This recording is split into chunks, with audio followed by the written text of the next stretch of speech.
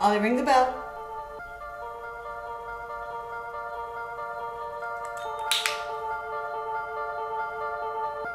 Good, Ollie.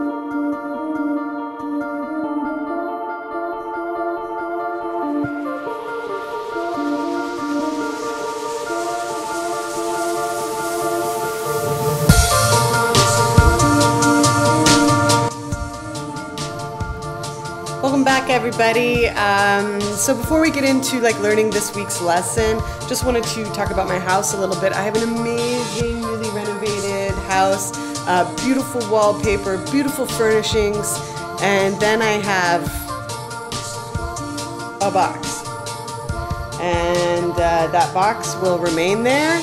It is the only way I can get Ollie to sit next to me. Um, yeah, we do have fun doing training and all of that stuff. He's just not much of a cuddler, but I, I kind of wish he would cuddle.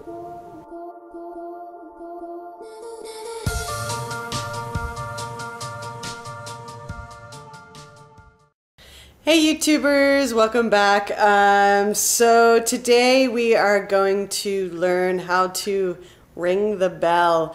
Um, I tried initially to use one of the um, the the silver ones, the the old school ones, but the the tip on it was really difficult to use. Um, Ollie's paw actually kept getting stuck in, in like inside of it so it was really really bad um, i was able to find this on amazon i have the link below uh, this one just worked out much better and way easier to to teach ollie how to ring the bell so remember last week when uh, we started learning target training? The reason why I taught it last week was because we needed him to understand that he's got to touch the tip of something. Um, and again, if you missed that episode, then I do recommend you go back to last week's episode. Um, also, one of the previous uh, lessons that we learned was to how to do the high five and also sit. So we're going to be combining those three lessons into one in order to learn how to ring the bell. Do some training?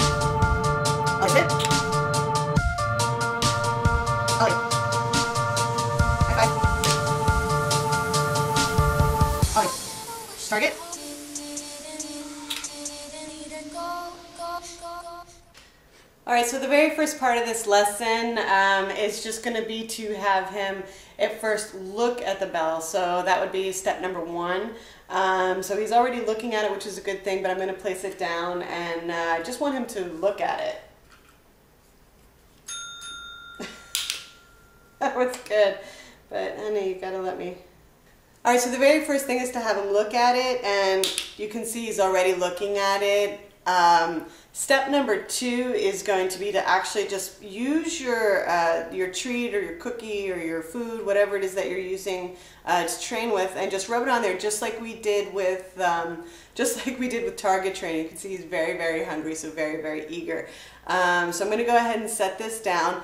Now, if your cat goes over to just smell it, um, I want you to give it a click and a treat, and then we'll move on from there.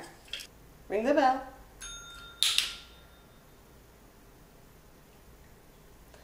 Now you can see Ollie's already done this a few times, so he's pretty familiar with this one, and he really enjoys this one.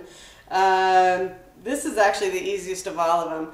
So whenever we start a lesson, you want to have your cat sit. And if your cat doesn't initially um, ring the bell, go back to the lesson where we learned high five, and then essentially you're going to be doing it the same way because you want him to reach up to touch it, or in this case, smell it. You can also show him how to use it, um, but this one is actually really, really easy to, to teach. So my recommendation is just to show him. So it might be first you're going to have him just look at it, you would click, and then treat,